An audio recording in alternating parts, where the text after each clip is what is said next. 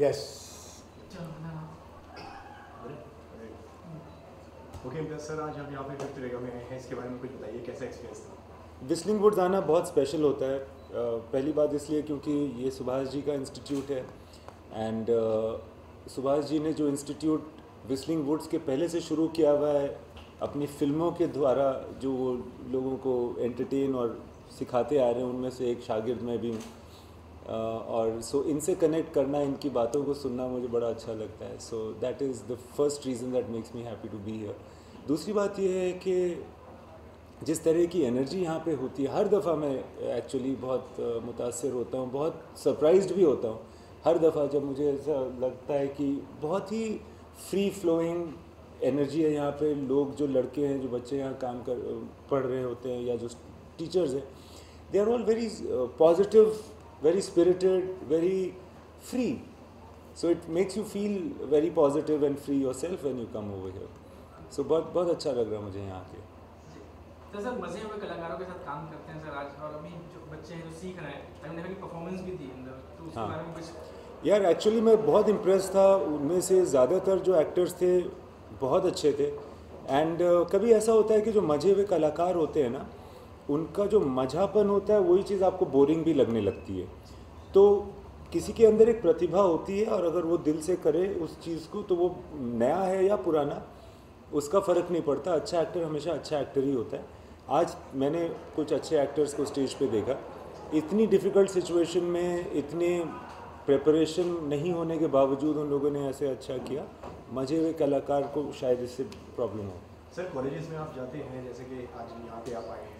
तो आपको आपकी कुछ मेमोरीज कुछ याद आती हैं आपके कॉलेज के हाँ यार मुझे भी मेमोरीज़ काफ़ी सारी याद आती हैं और फ़िल्म स्कूल तो मैं नहीं गया हूँ बट जो रेगुलर कॉलेजेस कॉलेज या स्कूल में गया हूँ उसकी यादें आती हैं कभी कभी जब मैं अपने आप को वहाँ ऑडियंस में बैठा पा, पा पाता हूँ। और मुझे हमेशा ऐसा लगता है कि मुझे कब कभी कभी जैसे आज भी जब मैं वहाँ बात कर रहा था मुझे थोड़ा एक अचंभा होता है सरप्राइज़ होती है कि मैं यहाँ कैसे आ गया?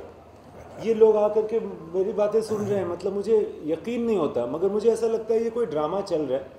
और मुझे इस ड्रामे में ये रोल निभाते हुए चले जाना है।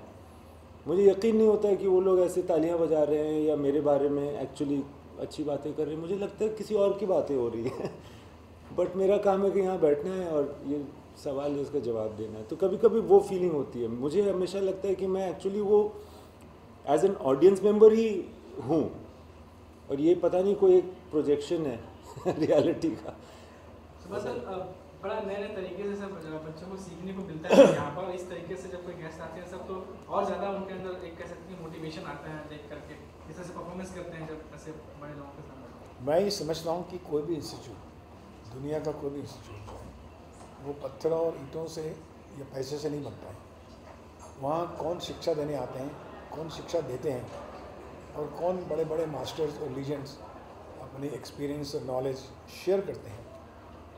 सारी उसी से संस्था बनती है। Whistling Woods becomes a really good institute is because of the people like him people people like many other legends in music dance drama cinema वगैरह so I am very happy on fifth Veda event lot of masters and legends do come and share like we did today and the students were just go when gaga meeting him and uh, interacting with him knowing all his uh, talks from his heart he spoke so well and he inspired so much uh, students जो कि शायद उनको ज़िंदगी में बहुत साल लगते हैं सीखने के लिए जितने साल इन्होंने गुजारे हैं वो इन्होंने एक घंटे के अंदर उनको सब कुछ बता दिया ऐसे and that was a big asset for the students and I said कि जो कोई भी इंस्टीट्यूट जो बड़ा बनता है वो बड़े लोगों के आने से बनता है बड़े शिक्षकों से मास्टर से बनता है।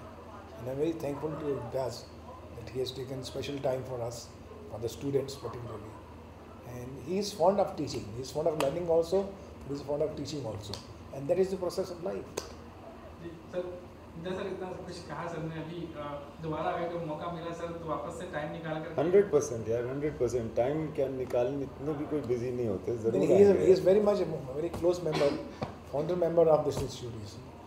इनका दिल से लगाव है विष्णु भट्ट के साथ हमारे साथ। तो हम अपना हक समझ के कभी भी इनको नींद से उठा लेते हैं। आज छोड़ो डिनर बाद में करना आ जाए thank you thank you sir एक आखिरी सवाल सर पूछना चाहूँगा सर अभी अ, अ, बोनी कपूर जी सर जो है श्रीदेवी जी पे डॉक्यूमेंट्री सर बनाने वाले हैं। तो सर ऐसे फ़िल्म मेकर सर इंडस्ट्री बनाए तो कुछ कहना चाहेंगे इस सर डॉक्यूमेंट्री पे? बननी चाहिए कोई भी जो कि इंस्टीट्यूशनल बॉडी वर्क होता है किसी भी एक्टर का डायरेक्टर का प्रोड्यूसर का तो तो बनना ही चाहिए ताकि अब आने वाली जो जनरेशन है उनको कुछ सीखने को मिलेगा। And it must be a very educational for the younger generation and we are happy about that thank you thank you